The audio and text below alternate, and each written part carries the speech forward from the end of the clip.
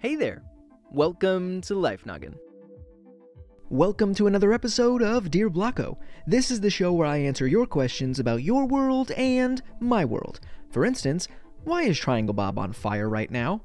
New year, same Bob. Anyways, first question up Carlin asks Dear Blocko, can you truly disappear and get off the grid? Well, I hope you're not talking about me specifically. I bet Triangle Bob is thinking the same thing right now. The answer is sure.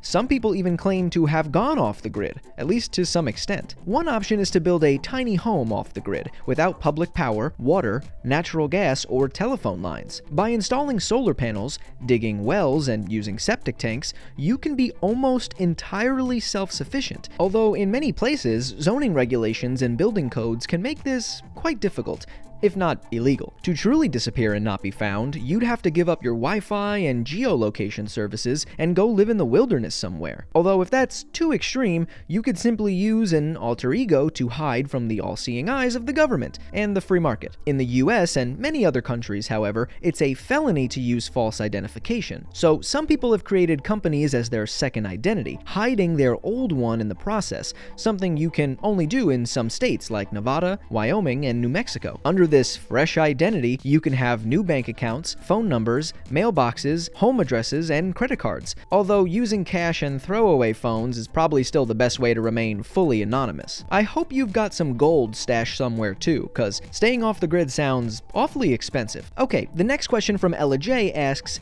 Dear Blocko, what happens when we hold in a sneeze? Well, it depends on how unlucky you are, and you'd have to be pretty unlucky for something bad to happen. Even still, doctors say the safest option is to let your sneeze go. Otherwise, you'll be holding in a projection of mucus up to 100 miles or 160 kilometers per hour. And newsflash, that pressurized air has to go somewhere. While issues almost never arise from suppressing a sneeze, there's still a very slim chance of serious damage. In 2018, a young man actually ruptured the back of his throat by closing off a sneeze, leaving him unable to speak or swallow until the injury healed. And it could have been much worse. Experts say suppressing a sneeze can lead to numerous other complications, like trapped air in the chest, a perforated eardrum or blood vessel, broken ribs, and maybe even a middle ear infection.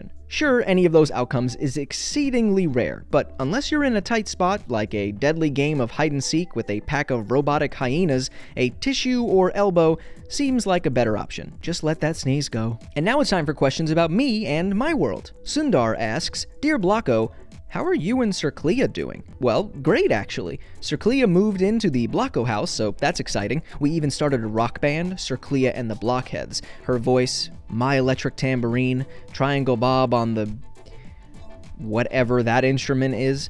I also have something very special planned soon. I'm winking, but you can't tell because I have no face. Second question up, Big Ernie asks, Dear Blocko, are you ever going to go on more adventures to any new places? Well, actually, come to think of it, we got wind of a place called New Jersey. We're going on a cool adventure soon to visit the knowledgeable one. I thought that was me, but legend has it it's a giant brain located deep in a cave that contains some answers to life's biggest questions. I'll keep you updated. So, do you have any questions about your world and my world? Let me know in the comment section below and make sure you use the hashtag DearBlocko so I can find it. I'll be looking for those cues. We've been getting a lot of comments recently asking about how these Life Noggin videos actually get made. Since so many of you want to learn how the animator works his magic, I decided to team up with our sponsor, Skillshare. Skillshare is an online learning community with thousands of classes covering dozens of creative and entrepreneurial skills. I am personally recommending the Simple Character Animation class by Fraser Davidson. It'll teach you the basics of animating a walk cycle in After Effects, and that's how I move. Premium membership gives you unlimited access that starts at under $10 a month, so you can fuel your curiosity and creativity. Because Skillshare is sponsoring this video, you can sign up with the link in the description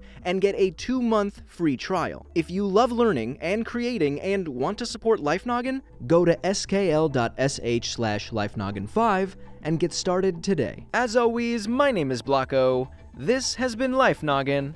Bark, bark, bark, bark, bark, bark, bark.